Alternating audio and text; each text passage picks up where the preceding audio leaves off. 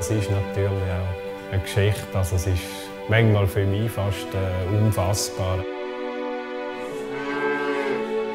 Als Junge wollte ich immer Bauern und wollte einen Betrieb übernehmen. Ich habe schon zwei Brüder, die auf dem elterlichen Betrieb bauern. Dann hat es natürlich mich nicht mehr gebraucht. Kein Wert mehr gehabt, wenn ich noch auf irgendetwas gewartet habe.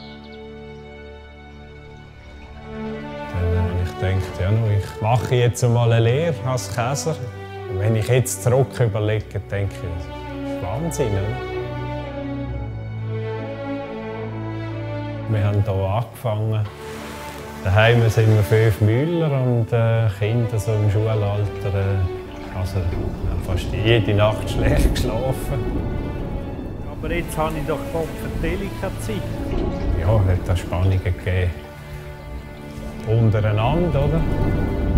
Wir haben wirklich nichts mehr gehabt. Wir haben hier wirklich die Hosen müssen bis auf die Füße.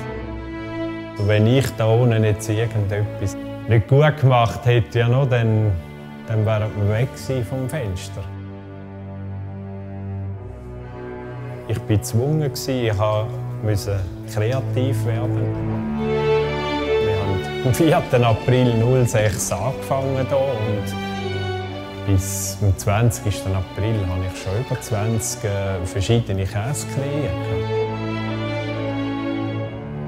Wenn man im Kessel einmal anfängt zu arbeiten, dann ist natürlich, äh, man da sagen, ein anderer Zustand ist blöd gesagt, aber äh, es ist ja fast wie wenn man sich vereint.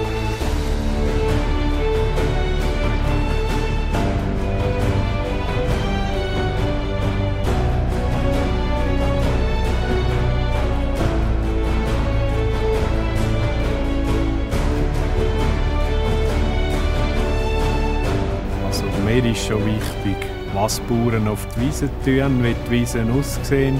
Ja, wenn mich jemand fragt, sage ich immer, äh, bei mir fange ich das Käse schon um die Loch beim Bauer an.